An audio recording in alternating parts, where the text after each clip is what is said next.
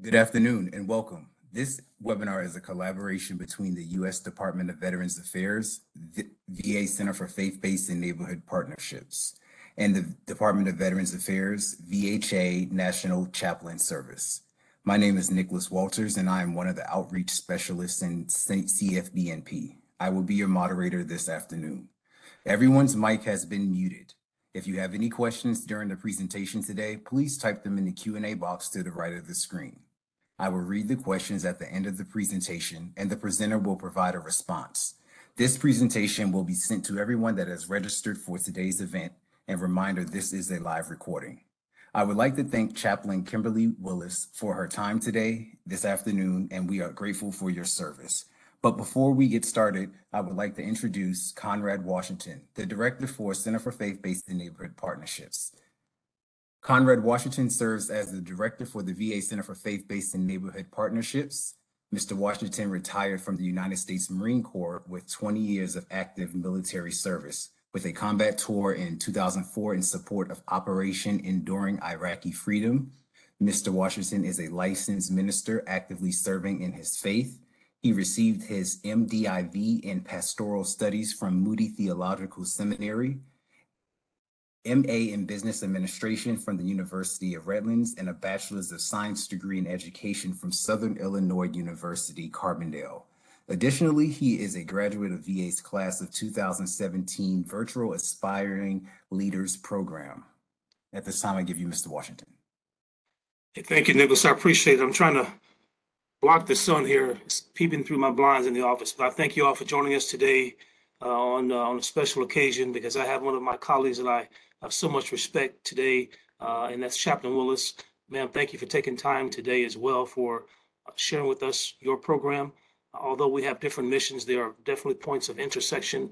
Uh, as you and I have worked together uh, for some years in different uh, different occasions, so I'm glad you're here. I appreciate it. I know it's going to be very helpful to those who who join us today. Uh, we want to do a few things. First, we want to acknowledge that uh, this month is Black History Month in recognition of the contributions that African Americans have made to this country. Uh, I would ask you that uh, you continue to uh, keep the Turkey, Syria victims, their families and loved ones in your prayer because of the earthquake uh, as they uh, go through that, which is a very uh, difficult time. and then most recently, the Michigan State shooting as well. it just seems that so many things are going on. but here's some good news. The good news is the VA is here. we want to love on you, and how we love on you is sharing with you that the PACT Act, you may have heard about it, PACT, the PACT Act was signed um, August of 2022. It expanded health care and benefits for millions of veterans and their survivors, right? And uh, we're excited about uh, people joining and learning more about the PACT Act. Uh, it includes veterans from the Vietnam era, the Gulf War, and post 911. And I will share with you that 97% chance that your benefits as a veteran will either increase or stay the same. Uh, so we ask you don't uh, don't hesitate. Get connected with the PACT Act to find out uh, how you can apply and for your benefits. Just go to www.va.gov backslash PACT, and we will have that uh, sent to you all as well, and it's on our website. Uh, without further ado, I hope you enjoyed today's presentation. Thank you. I would like to introduce now Chaplain Kimberly Willis. Please see her entire bio to the right of the screen. Chaplain Kimberly Willis serves as the Executive Director of the National VA Chaplain Service. In this role, Chaplain Willis advances spiritual care integration throughout the healthcare system by equipping and empowering chaplains to innovatively provide multi-tiered, broad-based programming and increase outreach and education of spiritual care practices through varied service modalities and platforms. Chaplain Willis most recently served as the National Program Manager of the Clinical Care and Education where she developed a national clinical pastoral education center to promote and enhance the professional development of all chaplains. At this time, I give you Chaplain Willis.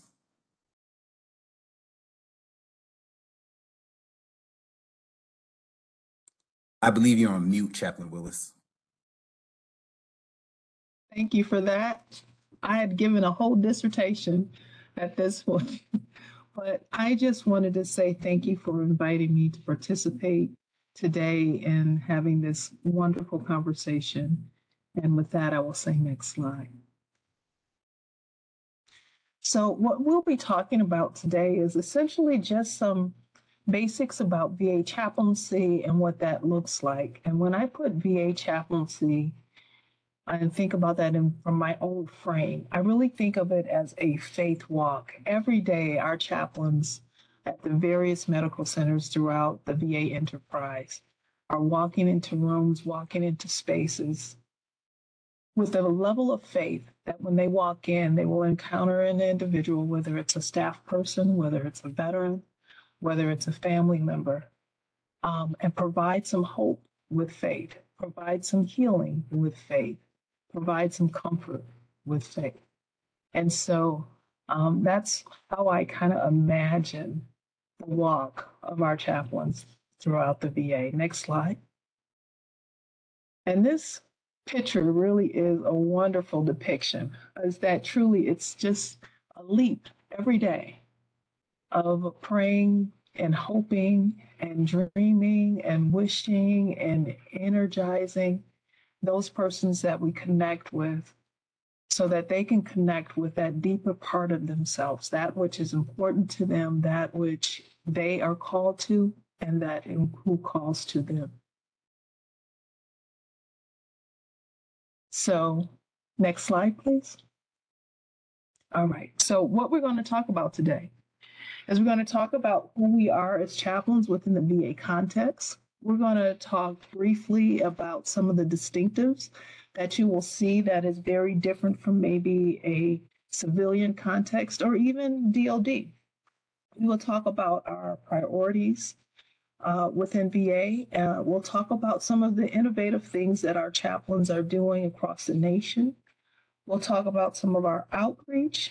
And then uh, I'll give you a little snippet of just a few things that some of our chaplains are doing throughout the nation. And I love that part because I get to share and brag on, on our chaplains. Next slide, please. So you've already had a, a brief discussion about who I am, and I just wanted to say, to add to the bio that was already read, is that I came to the VA um, after my service with the United States Air Force, and I wasn't really ready, or shall I rephrase that? I wasn't sure what I was going to encounter. I didn't know how it was the same or how it would be different from being a chaplain in the military. But what I recognized at the moment that I walked through the doors was how amazing this ministry would be and how needed this ministry is to our veterans, which I happen to be one. Uh, the ministry was very different than my service um, in uniform. Um, but it gave me an opportunity to continue to serve uh, not just the veterans, but my nation, the nation as a whole. So it is truly a noble calling uh, to be a VA chaplain. Next slide. So in my office, we have um, national program managers that work with certain areas. And one of our national program manager, managers is Chaplain Matthew Cassidy. He works on the Community Clergy Training Program, which is strongly connected um, to this program and what they are doing. So we're really grateful to have this partnership.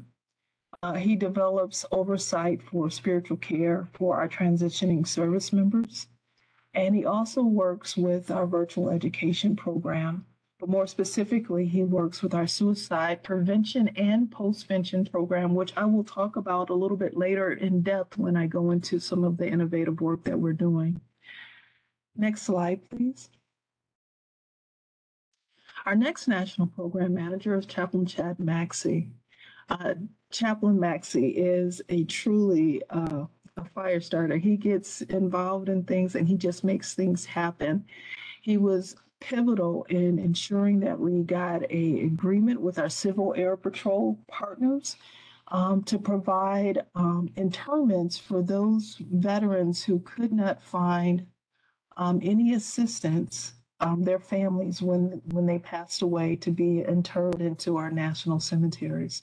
And so that partnership has really provided a service for our surviving families that was so much needed and very pivotal in their process for healing. Um, and um, working through their own bereavement. He also works um, with our family and caregiver support programs, as well as our Warrior to Soulmate uh, program, which is a very innovative program as well. He also works with suicide prevention and a, host of other areas within our national office. Next slide, please. So we currently have a vacant position uh, for one of our national program managers who, managers who specifically deals with clinical pastoral education. Some of you may or may not know what that is, but clinical pastoral education is a program which is essentially um, a residency that happens for chaplains to get the practical application of working in a, a clinical facility to learn the skills and competencies that are needed so that they could be successful in those various areas when they are actually out on their own. So that's the primary role of um, clinical pastoral education. Uh, this chaplain also works with our electronic health record document, which basically is the, the format by which we make sure that we provide complete our clinical notes for the encounters that we have with our with our veterans. Next slide.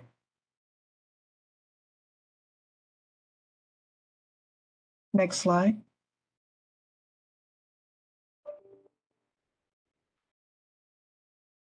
Um, it looks like the audio is on. Okay, great. All right, next slide. All right. Well, you know, it never fails that technology will do something strange, uh, but that's okay. I, I know that we'll get through it and it is well. Um, so we have uh, also on our team uh, three clinical pastoral educators.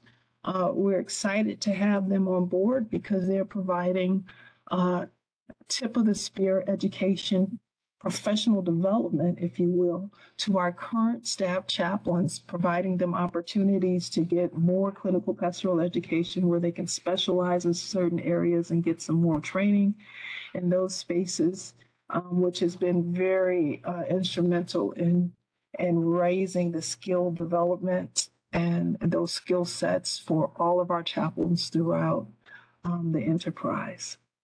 All right, let's go back to go to the next slide. Uh, we have uh, three national program coordinators. Two of those positions are currently vacant. I'm sorry, one of those positions is currently vacant. We're working on uh, getting those that position filled. And those positions currently are filled by Chaplain Will Chronic and Chaplain Will Kennard. Next slide. For our administrative team, we have Mr. William Patterson.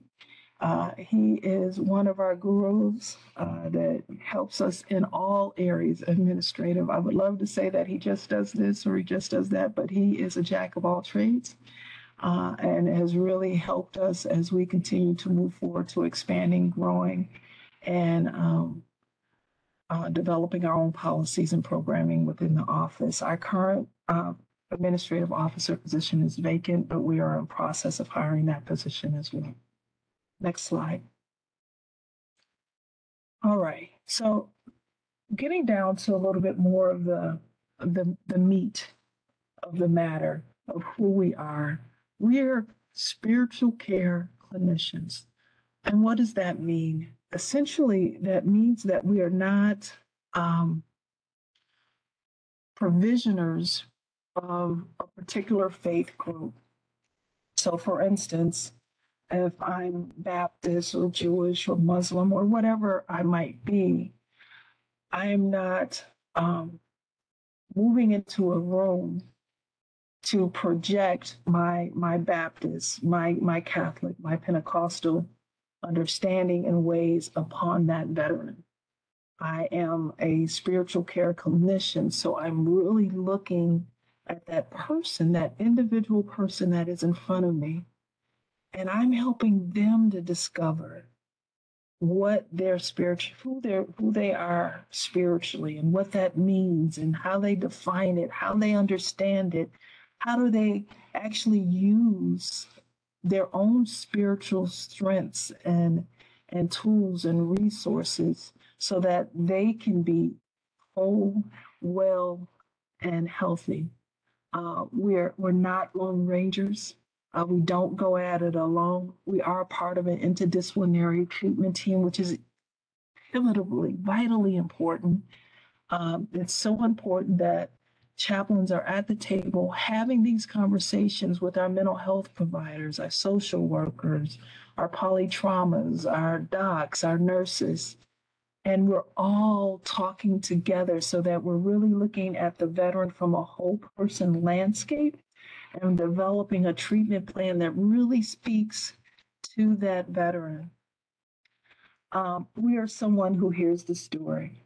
I will say, and and I I um I freely admit that I I come from a Christian background, and so I often think of Jesus Christ and his example. And one of the things that he did so very well was he listened. He listened to people. And so chaplains are called to listen. They're called to be in the space with people. So if you're in the gutter in that moment, then I pull up a seat next to you and we hang out in that gutter and we have we we sit in silence or we are in dialogue, but we are there together in that moment. And I'm as a chaplain letting you know that you are not journeying alone. For those who have ever been in uniform, it's there's this saying about I got your six. That means I got your back. And that's what chaplains do. They have your back. They're sitting in that space with you um, while you're in that uh, hospital context. Uh, we are called to work with folks from all spiritual traditions and backgrounds. We are no respect of person. Uh, it is come as you are, and we will meet you where you are um, by law, by Congress, Congress, congressionally made mandated law, chaplains are the only spiritual care providers within the context of the VA. Um, and we also really move to advocate for our patients. Uh, whatever's happening, sometimes we, we need to do some advocacy. There might be some traditions rituals, sacraments, understandings of your spiritual context that the healthcare team may not be aware of or understand how it applies or interacts with your medical care. And so the chaplains serve as a conduit to make sure that that communication flow is open and clear, as well as to make sure that your, your rights and your needs are being addressed um, in the most respectful, respectful and honoring way that they possibly can. Uh, we make sure that if the resources that a veteran needs, the family member uh, needs as it relates to their spiritual or religious beliefs, if we can't provide it as as a chaplain there, then it's our job to figure out how do we get those resources that you might need. So th- those are just some of the things that we we engage in and we ensure happens within our context. Next slide, please. All right. So if you notice, um, in that first bullet, there's a highlighted statement. That statement says a call within a call. So there's one thing to be called called to ministry and however one defines ministry. Um, but then there's this call to VA ministry, which is very a very specific population, a population of person, persons who have served, and because they did uh, serve, was in a position to give all, sacrifice all for their country. And so when I say a call within a call, it's really truly a call to a specialized demographic um, and a call towards their healing uh, and a call towards their, their wholeness. Um, we all have, every chaplain has to be endorsed by a religious organization, a spiritual organization of such. Um, and we all walk within those contexts. Uh, so it's important that we are faith walkers, if you will. Um, again, we do minister to people with all faith traditions and backgrounds and people who have no faith tradition or background. Uh, we also serve as clinical providers in the healthcare setting to, to staff members. We do that on a, a more limited basis because our primary focus is on veterans, but we are also there to provide spiritual care to our staff as needed. Next slide, please. So, what does it take to become a chaplain? Um, what are some very distinctives? Every chaplain hired into VA chaplaincy minimally has a master's of divinity. That is the base requirement to become a VA chaplain. Uh, we have those who have the Masters of Divinity, doctors of ministry, and PhDs.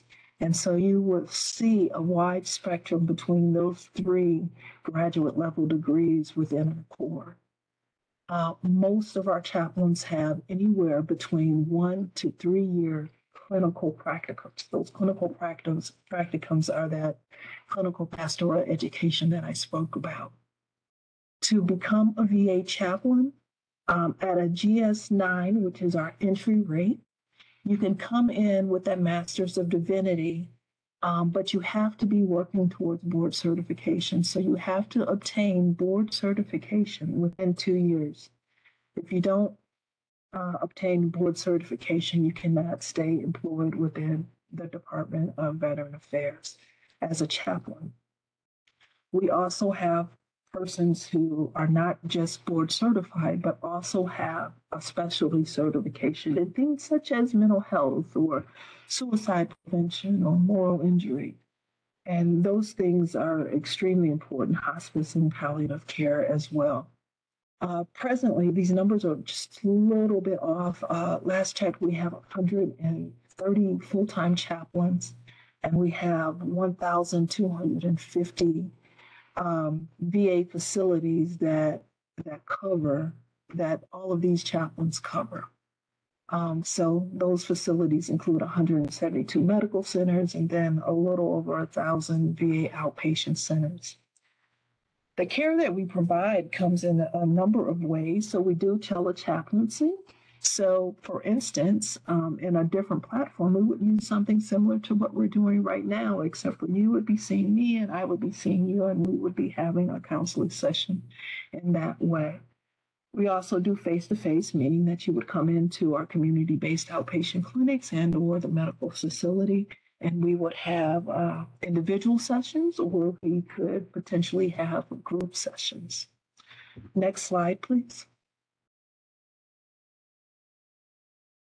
Right. As I said before, we, we serve a specialized population.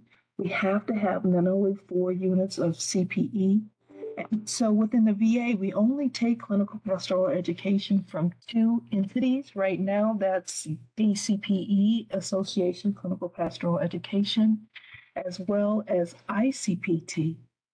Um, we you must be board certified, and as previously stated, you also have to be endorsed. You have to have an ecclesiastical endorsement prior to being hired onto the VA.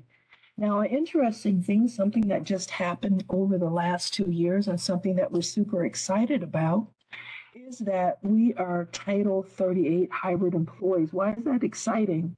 Because we used to be what we call Title V employees, and Title V employees are administrative employees uh, whereas our work is very much a, a clinical exercise. So now we're being recognized as clinical chaplains, which is extremely exciting.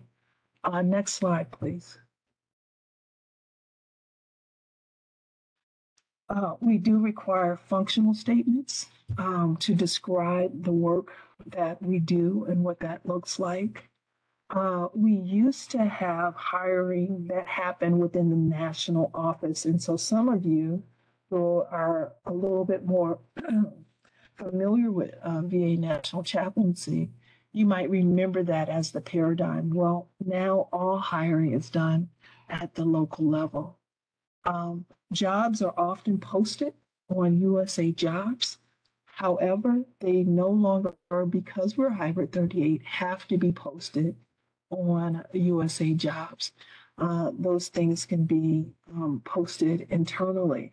So for any of those who folks who are on the call today that might be interested in VA chaplaincy, I would actually give a call to that local facility, to that chaplain's office, and talk to the chief of chaplains and see if there's anything getting ready to open up. And again, you have to meet certain requirements. And if so, you can have that conversation and submit resume for a possibility to be considered if there are some positions getting ready to open up.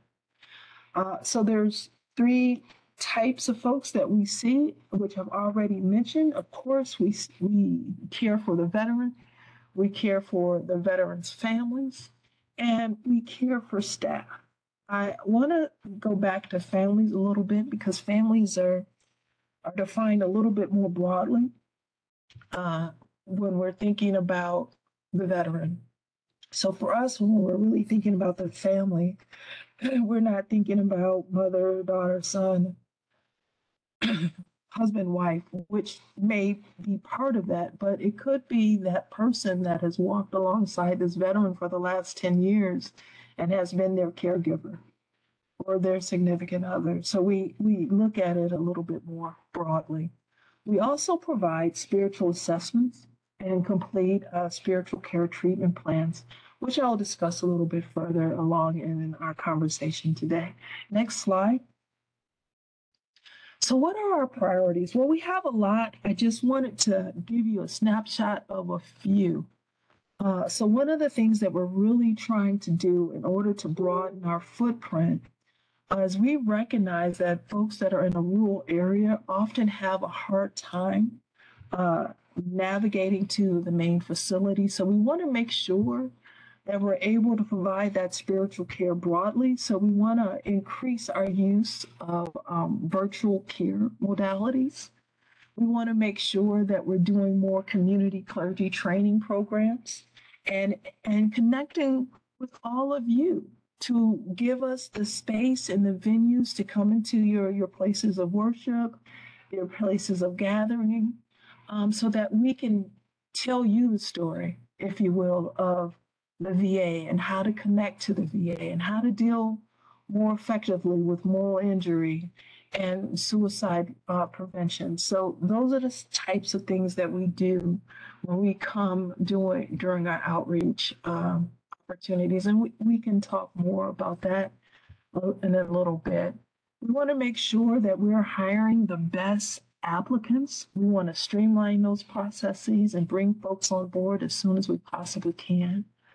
Uh, we want to make sure that we offer our current chaplains the best professional development plans as possible. And we do that in a lot of ways. We do that in what we call the Professional Flourishing University. That is a mouthful, I know, but I love the flair of it.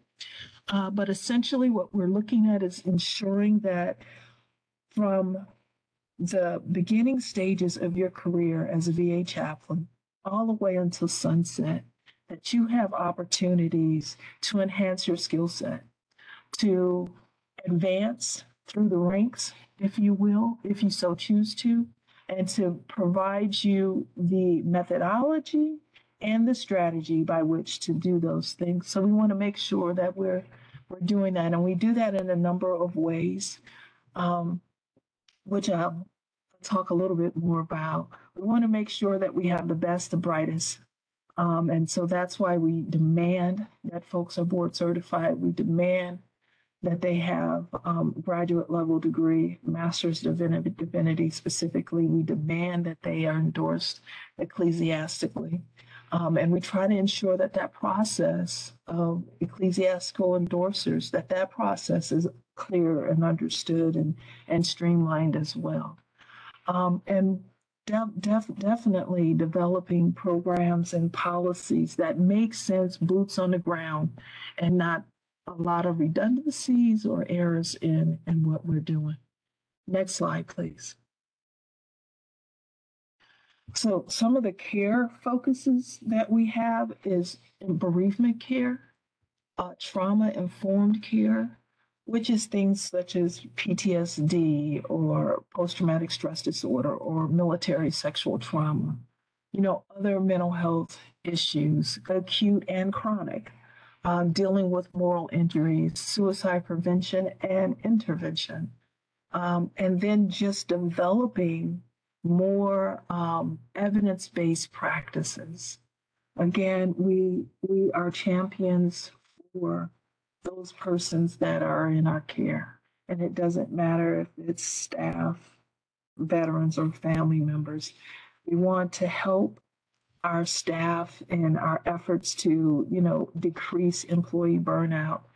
Um, ensure that when our veterans come in, they are connecting with staff members that are ready, that's that's excited, that's not burnt out, will be gone and tired, right? So we work really hard with other healthcare team members to partner with and to work with to really try to help our staff stay on top of things emotionally, spiritually, and mentally. Next slide, please. All right, so some of our innovations, which are pretty exciting, uh, most recently, we, uh, we have developed a pilot with the National Cemetery Administration, which also falls under the Department of Veteran Affairs. And so the National Cemetery Administration, there's national cemeteries throughout the nation. Um, and so we have partnered with them and we have embedded a chaplain at the Riverside uh, National Chaplain, uh, National Cemetery in California. This is the first time that this has actually happened, and that particular individual is responsible for providing bereavement care for uh, um, the families of the deceased veteran, as well as doing internments and caring for the staff at that local facility. And what we have found has been extremely uh, uh, exciting because it's it really has proven the need to have um, a chaplain embedded in these places. We we really have seen uh, just in the short time that she's been there uh, that over 140 persons have been impacted by her care. Um, there's been over 140 requests for for more work. Uh, so it's it's just extremely exciting, and our hope is to get this rolled out as we do do more studies and develop our metrics out, and then have this program throughout all of the national cemeteries.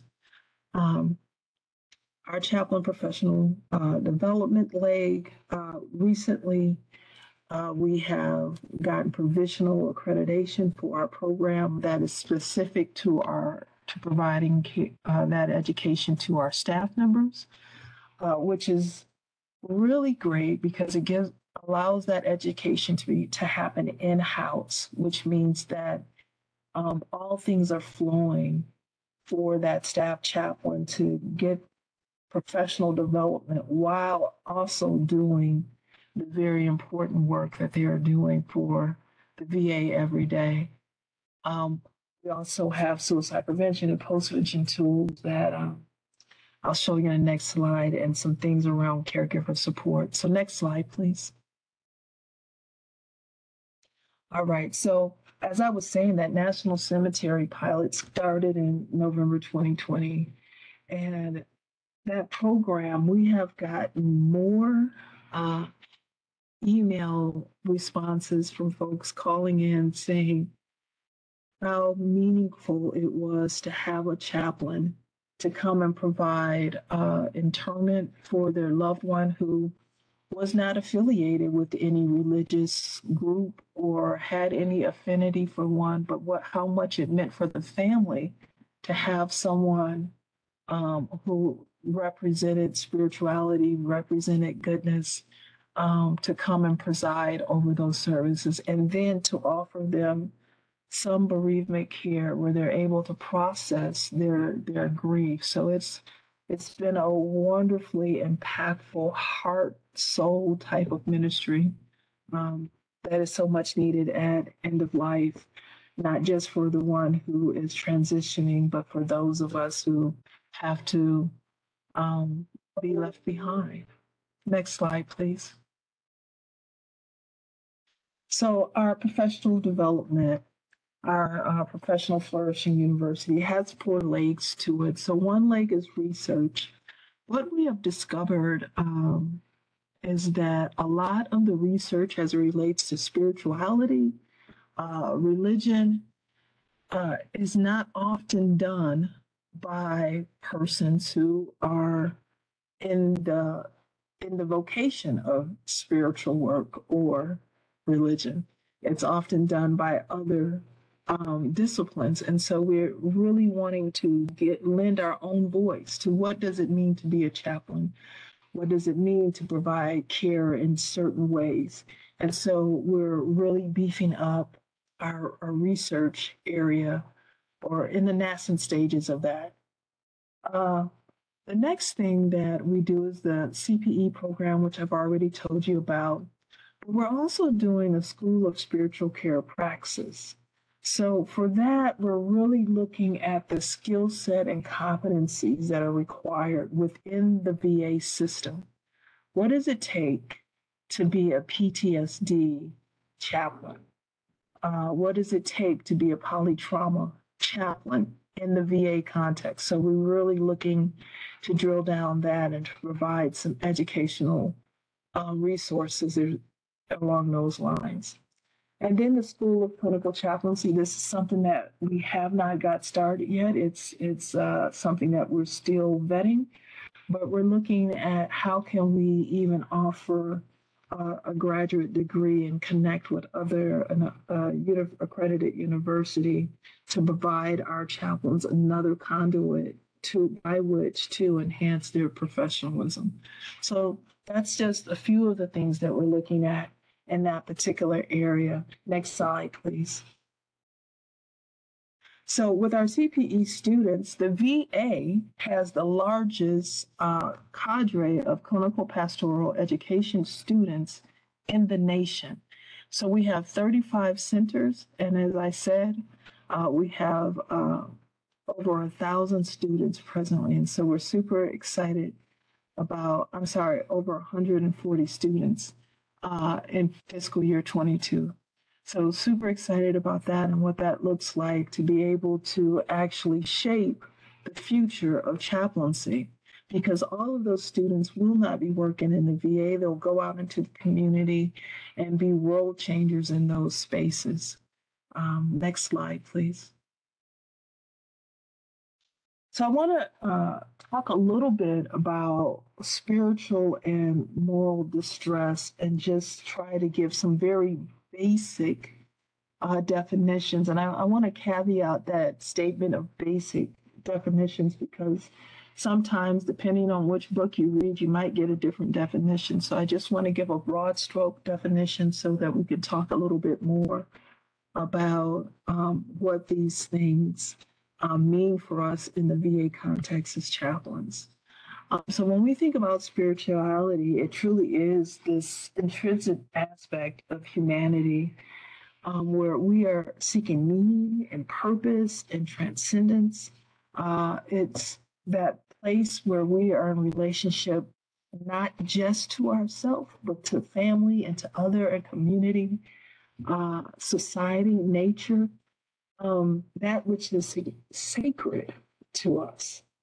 I think about my own spiritual walk. I feel myself most connected um, to all of God's created when I am outside walking in, in nature. That's where I experience that the most. And my, my prayer language becomes much more profound and intense and, and emotively felt. Um, spirituality expressed through your, our beliefs, our values, our traditions, and our practices. And so that's what spirituality is. But what is it when we are experiencing distress? It's really the converse of that. It's when we aren't connected to ourselves or that which brings us meaning, whether that be art or music or nature or, or whatever that is, is that when we can no longer connect, there's for some reason some disconnect. So we experience this dis ease or this distress within our spiritual selves. Moral injury, uh, which happens to be also highly associated with suicidality amongst our veterans, um, to include such risk factors as PTSD as well.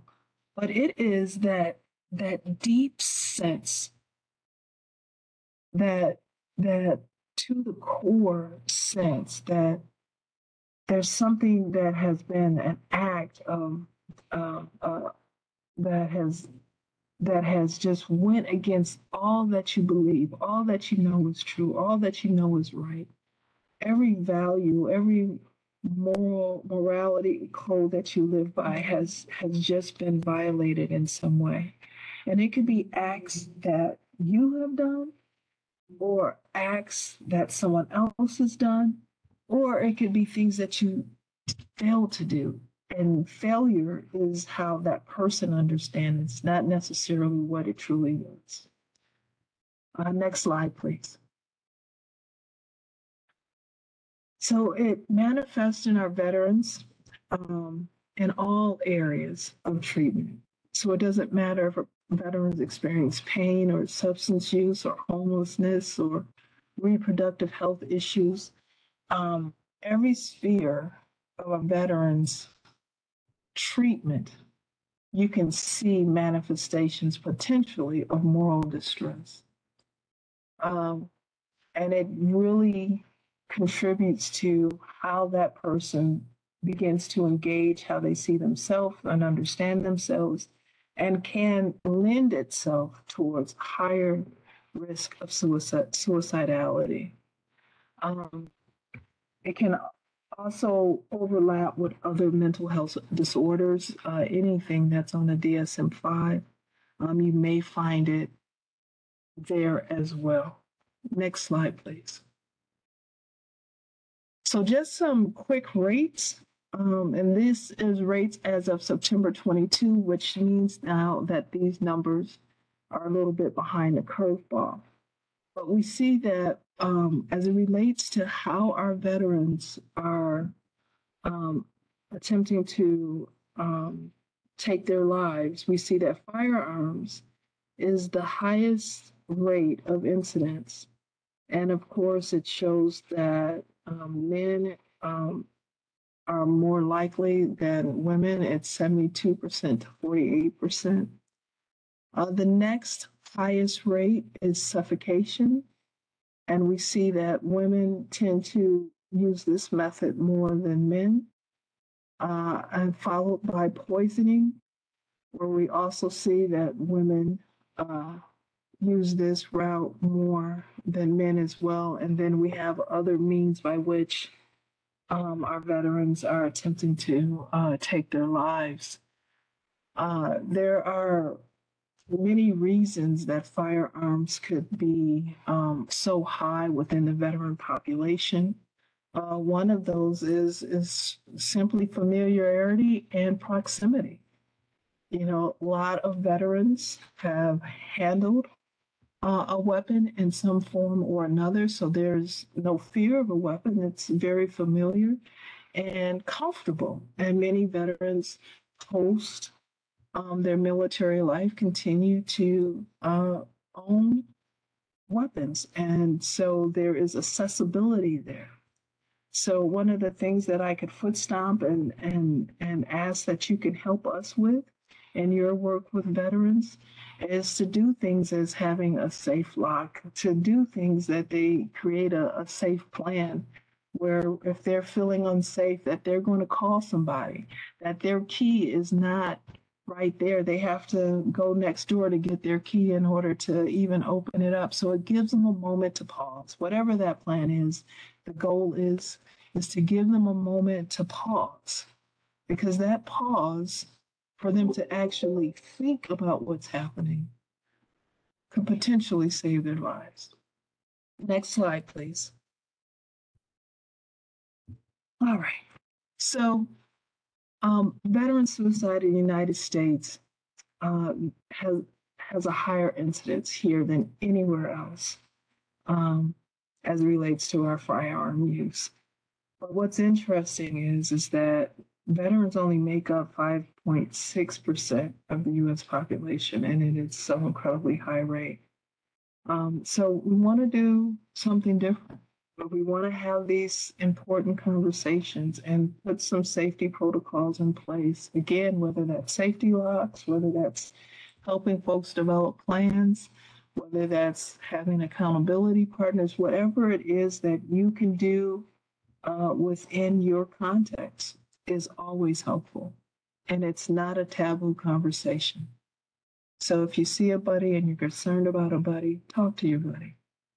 Next slide, please. All right. So some of the tools that we bring to bear within uh, VA chaplaincy is that we do spiritual care screening. And so what's interesting about spiritual care screening is that this is typically done by someone who is not a chaplain. This is done by a nurse or provider or whomever in the uh, medical context that does a screen to see, hey, is there some spiritual concerns that this person have? And if they do, then we're going to refer them over to the chaplain to receive the care that they need. And then when they get to us, we do a spiritual assessment. And there's different models for spiritual assessments that are conducted throughout um, the enterprise.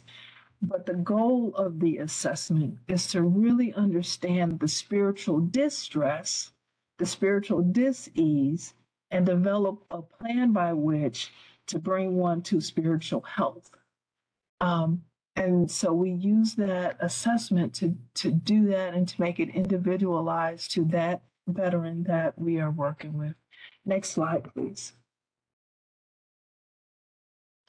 All right, so we have the caregiver, caregiver mentor support. So that's the work that we do for the people who are taking care of our veterans in their home. And so we provide them an opportunity to kind of breathe and decompress. If anybody has ever been a caregiver, you know how all consuming that can be. And so we offer, you know, just what is spirituality and dementia? You know, if you're dealing with a veteran who's working with dementia, how do you deal, work with, get your own self care when you're in the midst of caring for others?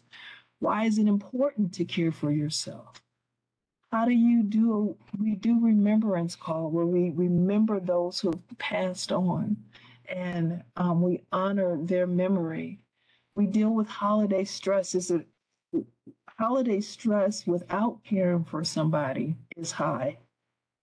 It's doubly high when you're also a caregiver in that place. So we do lots of various classes um, or groups, if you will, um, for our caregivers to try to give them some resources to help them find ways to reach within themselves and to uh, grasp hold of that which is important to them um, as a place and source of strength.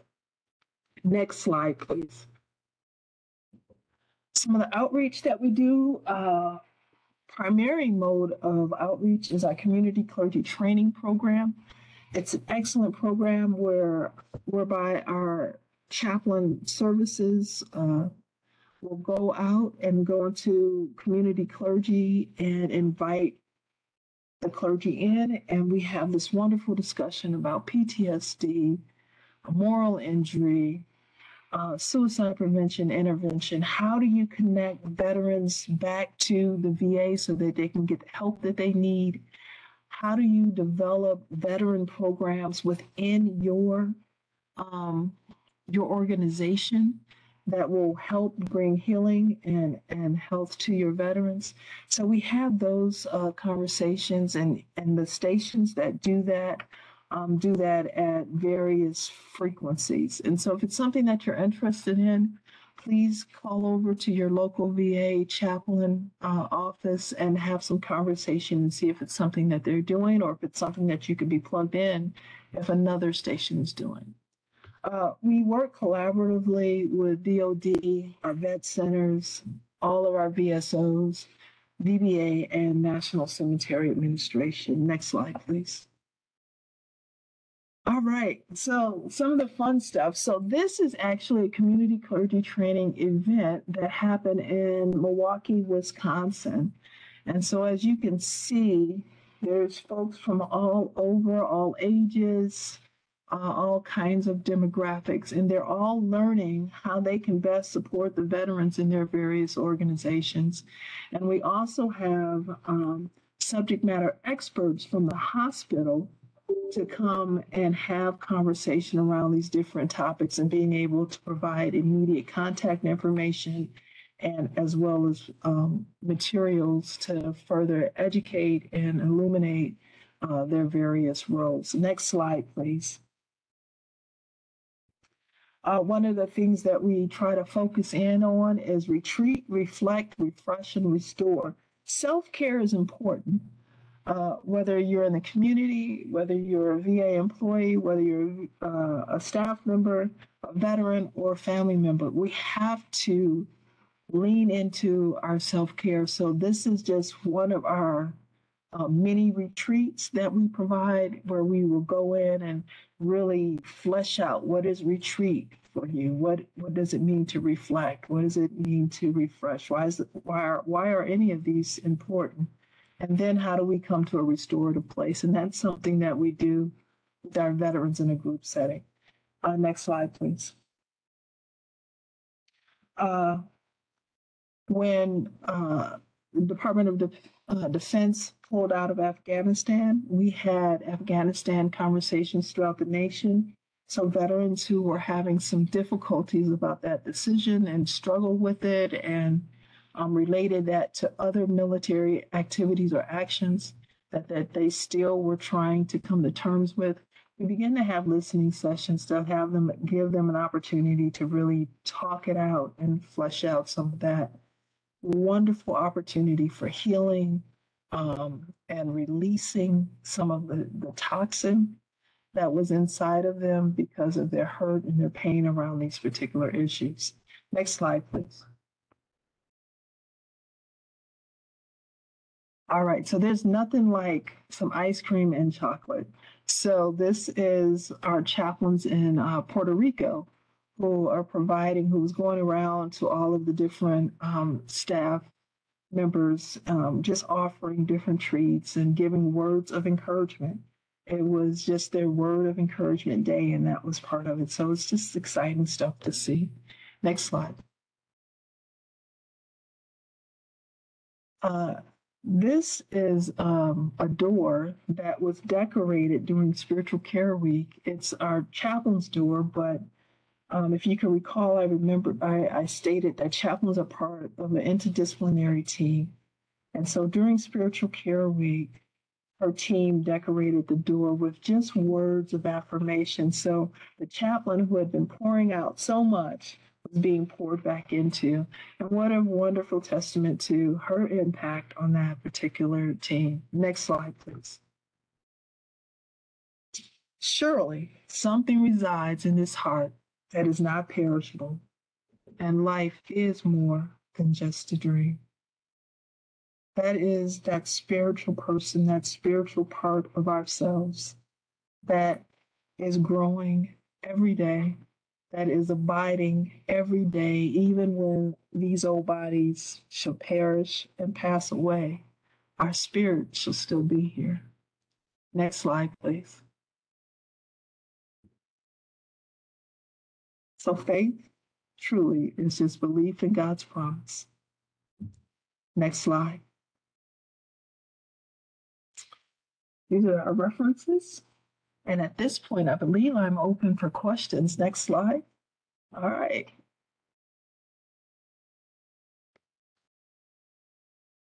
Thank you for that presentation, Chaplain Willis.